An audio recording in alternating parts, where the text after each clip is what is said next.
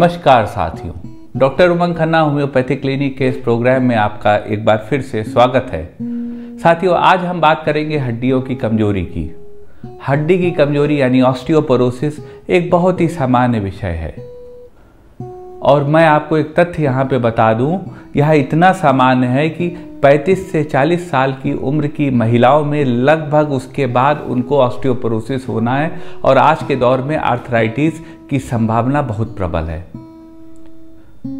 होता क्या है साथियों, जब आप 35-40 साल के होते हैं तो आपके एस्ट्रोजन और प्रोजेस्ट्रॉन हार्मोन शरीर में सिक्रीट होना कम हो जाता है। और जो जो यह कम होता जाता है त्यों त्यों आपकी बोन्स वीक होती जाती हैं। वीक होती जाती है, उसकी डेंसिटी कम होती जाती है। इसी फ्रामना को ऑस्टियोपोरोसिस कहते हैं। आगे चल के ये आपकी हड्डियों का वियर टियर करती है, नुकसान पहुंचाती है और आप आर्थराइटिस यानी गठिया की तरफ़ बढ़ते हैं।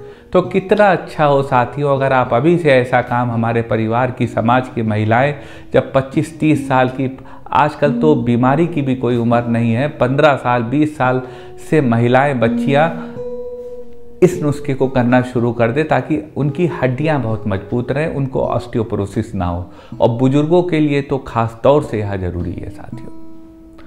मैं आपको बताऊँगा बहुत आसान नुस्खा, बहुत आसान चीज़, सिर्फ़ दो चीज़ों की आपको ज़रूरत पड़ेगी। उसमें से एक चीज़ आपके घर पे इस समय भी होगी जब हम आपसे इस वीडियो पे बात कर रहे हैं। दूसरी चीज़ आपके करीब बाज़ार में होगी, जो कि आपको बीस रुपए में अच्छी खासी मिल जाएगी।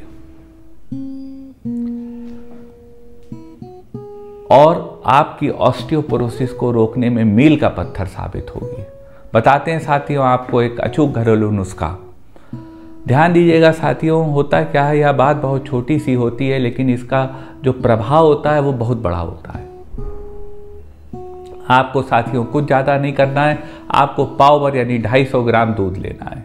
दूध यानी मिल्क, उसको उबाल लेना है और उस मिल्क में आपको तिल तिल यानी सीसेम सीड्स, जो सफ़ेद तिल होता है, वो आपको रोस्ट करा हुआ या भीगा हुआ।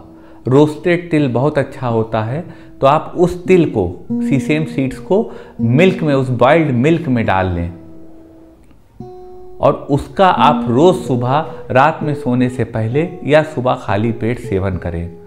इस, इसको आप 90 दिन तक लगातार करें। आप देखेंगे कि आपके शरीर के बोन्स का डिजेंडेशन रुक गया, हड्डियों का दर्द कम हो गया, जोड़ों का दर्द कम हो गया और आपकी हड्डियों में ज़ोर आने लगा। एनर्जी महसूस होने लगी, आपका जो मूवमेंट है वो और बेहतर हो गया।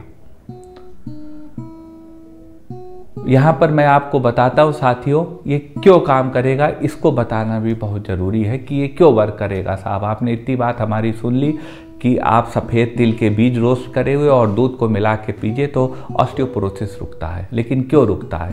ये साथियों, इसलिए रुकता है कि 100 ग्राम सफ़ेद तिल में 975 ग्राम कैल्शियम होता है।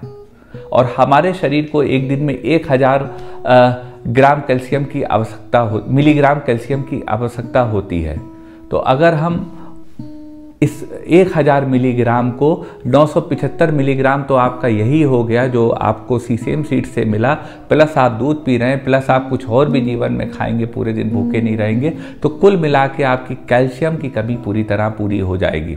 उसके अलावा साथियों, तिल के, तिल में जो है जिंक पाया जाता है। जिंक बहुत कारगर होता है आपकी ऑस्टियोपोरोसिस को रोकने के लिए।